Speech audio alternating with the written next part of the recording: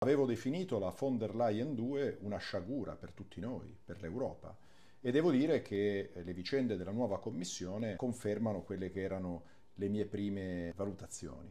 La Commissione infatti si sta rivelando un disastro. Io ho avuto modo di parlare con alcuni commissari, ho parlato con la commissario Sciuica al Mediterraneo, la quale non sa come rilanciare i porti del Mediterraneo e non conosce eh, la problematica dei biocombustibili che sono molto più adatti al bacino del Mediterraneo piuttosto che i combustibili sintetici che invece rilanceranno molto i porti del nord Europa. Poi ho parlato con la commissaria all'ambiente Roswell, anche lei si è definita una implementatrice senza riconoscere tutti gli errori che sono stati fatti nell'ambito ambientale nel quinquennio precedente. Anche lei continua su una strada che è già stata tracciata.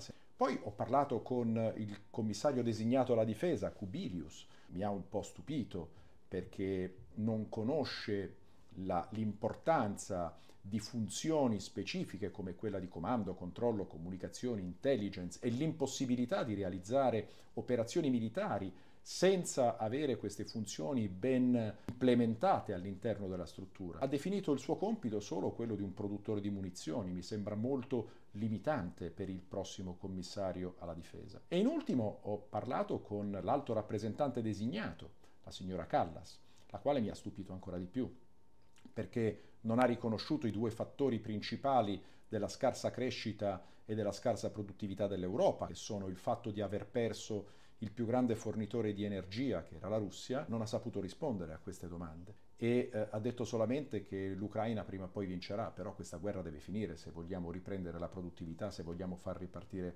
l'economia. Poi la stessa Callas ha fatto delle dichiarazioni assurde, ha detto che la Nato è un'alleanza militare, disconoscendo invece l'aspetto politico che è principale. E poi ha detto che in una sorta di architettura della difesa del futuro lei vede la Nato pianificare e condurre le operazioni e l'Unione Europea invece produrre le munizioni. Questa è la sua idea di difesa europea del futuro, quindi ci dovremmo totalmente eh, diciamo, assoggettare a quelli che sono gli Stati Uniti, il Canada e anche eh, la Gran Bretagna, che non fa parte dell'Unione Europea, e anche di concerto l'Australia e la Nuova Zelanda. Quindi saremmo ancora sottoposti a quelli che sono stati definiti i Five Eyes, che con Echelon, sino a qualche anno fa, eh, ci spiavano e rubavano i nostri segreti. Questa è l'idea della Callas per una difesa europea che deve essere invece assoggettata al mondo anglosassone.